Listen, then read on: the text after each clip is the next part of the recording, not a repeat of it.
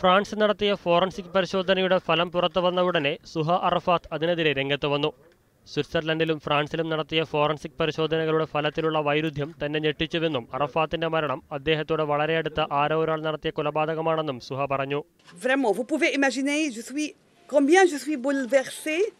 Par ces contra- contradictions concernant les meilleurs experts d'Europe en la matière. താൻ ആരുടെയും മേൽ കുറ്റം ആരോപിക്കുന്നില്ല.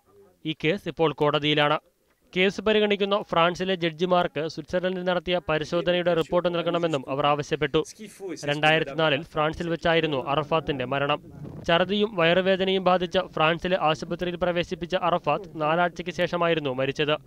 ഹൃദയാഘാതമാണ് മരണകാരണമെന്നായിരുന്നു ഔദ്യോഗിക വിശദീകരണം. എന്നാൽ അദ്ദേഹത്തെ പരിശോധിച്ചിരുന്ന ഡോക്ടർമാർ പറഞ്ഞത് മരണകാരണം കണ്ടെത്താൻ കഴിഞ്ഞില്ലെന്നാണ്. പിന്നീട് ശരീരഭാഗങ്ങളുടെ സാമ്പിൾ പരിശോധിച്ച സ്വിസ് ഫോറൻസിക് വിദഗ്ധർ പൊളോണിയം ഉള്ളിൽ ചെന്നാണ് അറഫാത്ത് മരിച്ചതെന്ന് കണ്ടെത്തിയിരുന്നു. News desk Media One.